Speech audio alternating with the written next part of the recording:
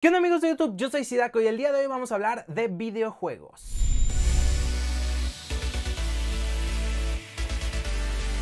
Bien amigos, pues el día de hoy, como ya les mencioné, vamos a hablar de videojuegos. En este caso les traigo dos noticias de las que vamos a hablar el día de hoy. La primera viene por parte de Ubisoft y es que nos pusieron, gracias a esta cuarentena que tenemos en estos momentos, nos pusieron un juego completamente gratis para que ustedes lo puedan descargar en sus computadoras. Este juego solamente está disponible para PC y se trata de Assassin's Creed 2 amigos. Ese juego está completamente gratis ahorita para que ustedes vayan y lo descarguen 100% legal, no fake, en sus computadoras. Ahí les va a decir qué hardware mínimo necesitan tener y lo van a descargar a través de Uplay, que es su prácticamente launcher para que ustedes ejecuten los juegos de Ubisoft. Así que vayan a aprovechar esta oportunidad. Yo la verdad es que ya lo puse a descargar para probarlo. Yo no he probado ningún título de Assassin's Creed porque no me habían llamado la atención. Y aparte, no iba a comprar un juego que no sabía qué tal iba a estar. Entonces creo que ahorita es la manera perfecta de que te adentren un poquito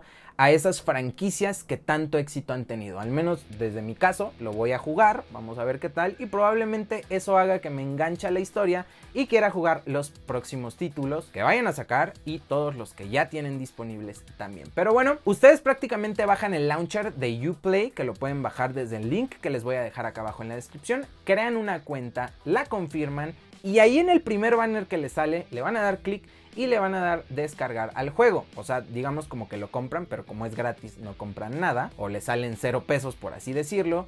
Y ya después de eso les aparece en su biblioteca y les da la opción de instalarlo luego luego o nada más que se queden con el producto en su biblioteca. Así que ya lo van a tener, ya es de ustedes. Y esta oferta se termina el 17 de abril. Así que tienen poquitos días para que lo aprovechen. Y por otro lado amigos, hablando de próximos estrenos, vamos a hablar de Cyberpunk 2077 que pueden estar viendo un poquito el tráiler de acá. Ustedes ya saben qué juego es, no necesito mencionárselos, sobre todo si son amantes de los videojuegos. Yo la verdad es que me estoy metiendo un poquito a este mundo con este encierro.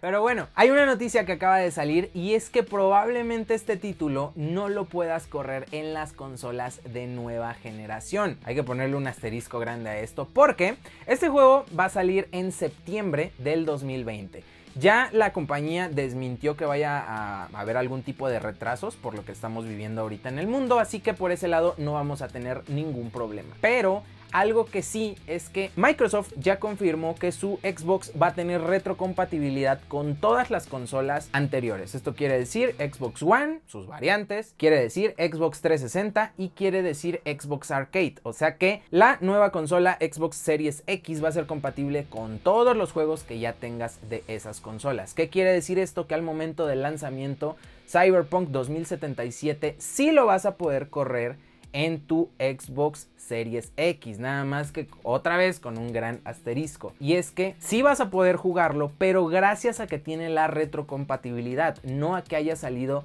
dedicado para esta consola. ¿Qué quiere decir esto o cuáles serían las diferencias? Es que al tú tener un título dedicado para las consolas de nueva generación, son mucho más potentes que las que tenemos ahorita. Las que tenemos ahorita son como una papa. No son potentes y de hecho desde que salieron tuvieron un hardware pésimo, pero creo que ese es tema de otro video. Entonces, vamos a tener la retrocompatibilidad, pero esto quiere decir que lo vas a jugar gracias a eso, no es que te lo vayan a sacar con las gráficas mejorados, con ray tracing, que este es un juego que va a traer ray tracing, que prácticamente eso es que la luz se va a comportar real como es. Eso es el ray tracing en los videojuegos, que la luz se comporte como se comportaría en la vida real. Entonces, eso no lo vamos a tener en Cyberpunk 2077. Al menos de salida, sí lo vas a poder jugar en Xbox, pero no vas a tener la versión mejorada de este título. Y en el caso de Sony o PlayStation 5, ellos mencionaron que la retrocompatibilidad todavía no está confirmada al 100% con juegos de PlayStation 4,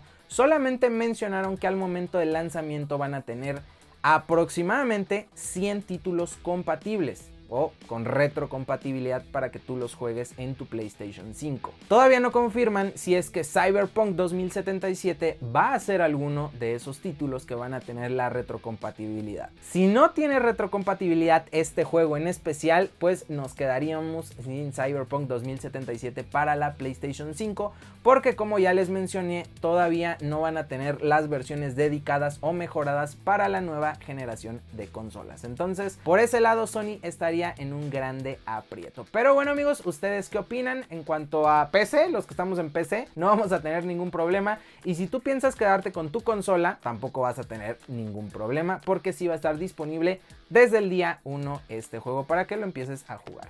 Pero bueno amigos, ¿qué les parecieron estas pequeñas noticias? ¿Van a descargar Assassin's Creed? Yo ya lo puse a bajar. ¿Van a comprar ustedes Cyberpunk 2077? Déjenmelo acá abajo en los comentarios. Pero bueno amigos, síganme en mis redes sociales que les van a estar apareciendo por aquí. Activen la campanita de notificaciones y suscríbanse al canal. Déjenme un comentario en la cajita de acá abajito. Yo soy Sidako, que tengan un excelente día y nos vemos en mi próximo video.